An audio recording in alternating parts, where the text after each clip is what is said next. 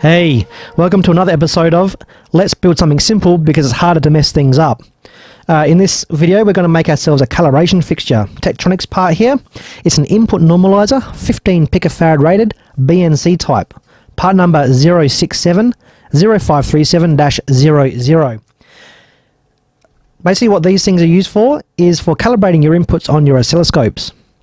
You imagine if you have a, uh, a scope that needs to be um, calibrated and you have a signal source that you're calibrating from, you connect that with a nice, nicely made brand new BNC cable between the two and you send your signal through, gets the other end all fine, calibrate your uh, oscilloscope.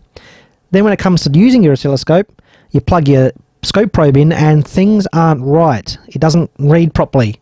That's because a BNC cable which you've calibrated with has different characteristics to your oscilloscope probe, different capacitance, different resistance, that sort of thing. What this does is this corrects your uh, your BNC cable to appear to the uh, oscilloscope as though that BNC cable was an oscilloscope probe. It adds some capacitance and whatnot, and um, it makes the uh, calibration correct so that when you calibrate it, the scope it looks to the scope like you've got the probe connected. When you put your actual probe on, everything should be pretty much correct. So um, these things tend to be rather expensive, I've seen um, on eBay and whatnot, but they're very, very simple. Just a couple of parts and um, nothing much more than that. So um, I've got the uh, manual here. Uh, the first page is basically what I've just explained, and it's saying how to adjust it if it needs adjustment, which is good because um, we'll need to uh, adjust it from the first time we uh, or before the first time we use it. But it says in there that it should never need readjustment. But if it does, this is how to do it. Uh, we got a picture of the exploded view. It's just a box with a lid and a, a holder for the parts inside, and then um, input jack and output jack. And most importantly, we have a schematic. This is awesome because from this we can make our own unit for the for a couple of dollars. You can see here we got the input here, the output there. The outside part of the jack is connected to the uh, the case, which is signified by this uh, dashed line. So the ground is just straight in, around and straight out through the case. Through the middle, we've got a uh, 1 megohm resistor, a uh, 12 picofarad capacitor in parallel, and a 2 to 8 picofarad trimmer capacitor just to uh, adjust it to calibrate that in and get it all, uh, all nice and spot on.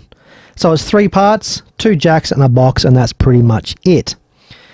So I've got my box here. This is a, a Takachi box. TD4-6-3B. It's 40 by 27 by 60 millimeters. Little uh, aluminium block uh, box, powder coated black or painted black. Uh, you could find easily find a, uh, a Hammond type box if you're in the US or another country that sells Hammond, or in your country there'll be a, a manufacturer that makes nice die cast aluminium boxes. I'm sure. So it's just there's no no uh, requirement on size, just big enough to fit, small enough to not be too big and unwieldy. Then we need our jacks, input jack and output jack. We need a uh, 1 mega resistor. It says a uh, half watt. I think this is a half watt. I believe it is. Maybe it's 1 watt. I think it's half watt. I can't remember. But I got a, a good one with a good low temperature coefficient, 1%. So that's going to work well. I've got my 12 picofarad capacitor. I think this is like a 1 kV or 500 volts or something. I don't think the voltage really matters um, as long as it's 12 picofarad, but that's just what I found in the right um, rating. And our adjustable little trim pot, which is going to need the uh, legs extended, but that's all right. We can do that with a bit of solder. And that's basically all we need. Pretty simple. Um, interesting thing about these connectors, I uh, I paid what I thought. Well, I think still think it is too much for that. I went to the first shop in Akihabara and I found these, and I went, yeah, I want them. And uh, this is ten bucks, a thousand yen.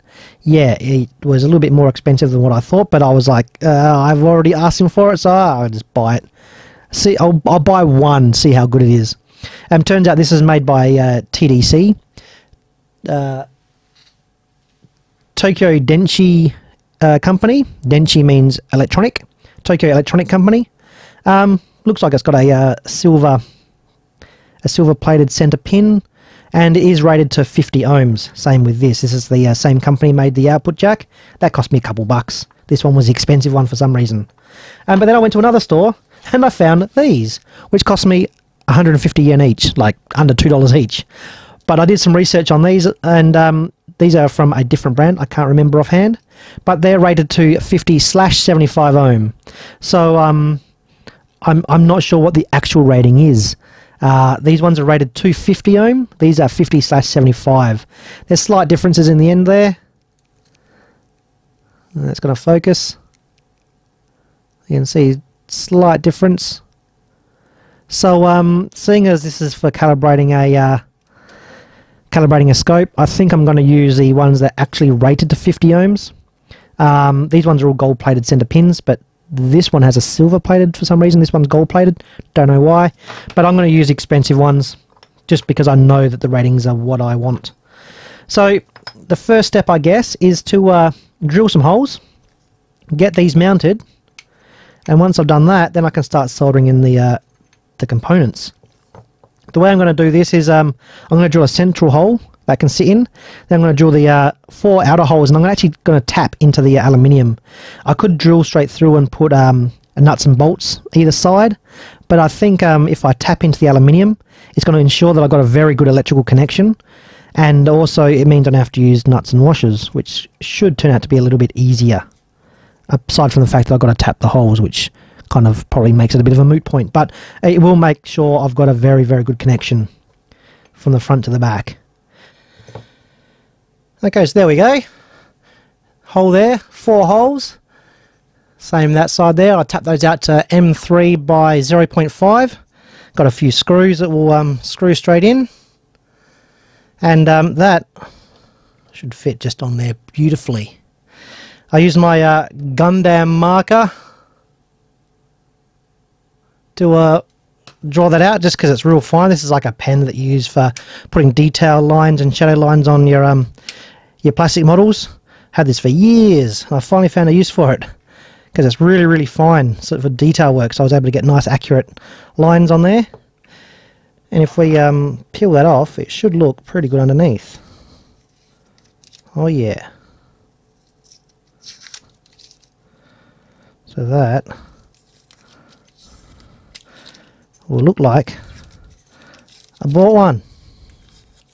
Look at that. Beautiful. This aluminium is real easy to work. Doesn't leave dags and stuff. It comes out real clean. I like it. I like it a lot. I like it a lot. There we go. Look at that. Beautiful. Point-to-point -point wiring. As pure as it gets. And that's actually pretty solid in there with the um, the resistor sold at both ends. It's not really moving around.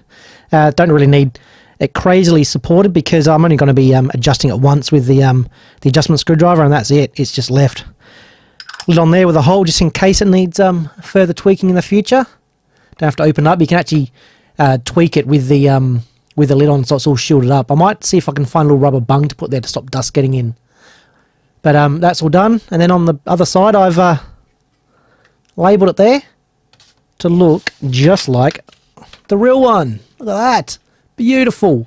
I wrote is a Tek equivalent rather than just having it Tektronix so that people know it's not the original item, but it's good enough. Good enough for a uh, for a home gamer. And uh, it says the same there as what's on the um on the Tek One input RC normalizer.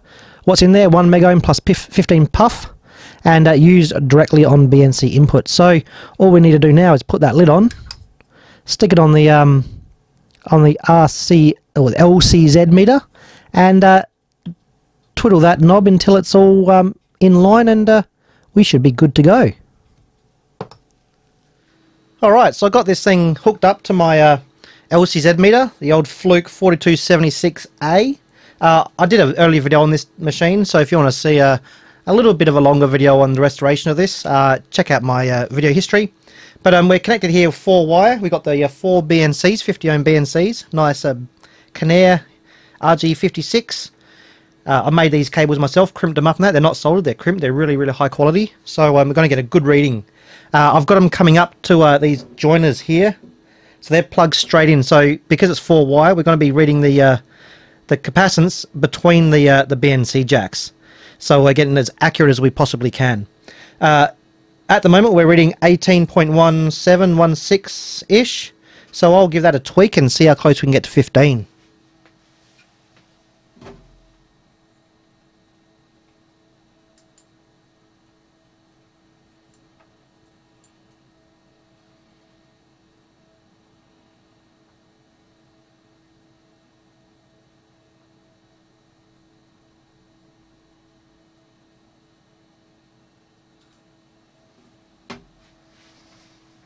I think that's pretty good.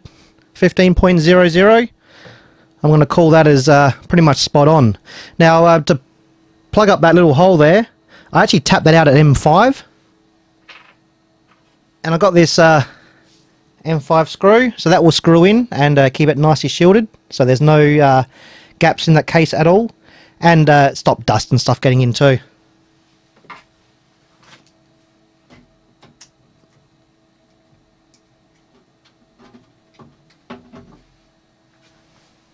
And that is it.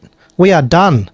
Now with the instructions here, it actually says you have to compensate it for the scope you're actually using it with. So um, you have to tweak this to make sure that your square wave is nice and square, just like you do with a normal oscilloscope probe. So I'll do that uh, when it comes time to use it on the uh, the scope that I'm going to use it on, the uh, 2467 and uh, that means that it's set for that scope. So if I then use it on a different scope, I've got to compensate it or um, yeah, adjust it for that other scope or whatever scope I, I decide to use it with, just like you do with your probes. If you use probes on one scope, you've got to compensate it for that, that uh, scope. If you move those probes to another scope, you've got to compensate them for the, uh, the other scope. You can't just you know, swap it without doing any adjustments. So I'll, um, I'll be doing that uh, at the end when I go to use it. But um, for now, I know that's pretty much dead spot on a little little tiny bit of drift there 15.01 so it's probably about 15.005 but um yeah that's that's looking pretty good. So thumbs up. We are all done with this and that is how you make yourself an input normalizer. Down below I'll um, put some uh, links to the uh, to all the PDF files. And uh, also if you need to make some of the other um, sizes I believe there's like 15 picofarad 20 24 47 maybe a few others. But I'll, I'll add some links so you can um, have a look and see what values you need to make yours. So uh, that's it for this time. Hope you enjoyed that. Hope you find it helpful. Stick around and we'll see you in the next video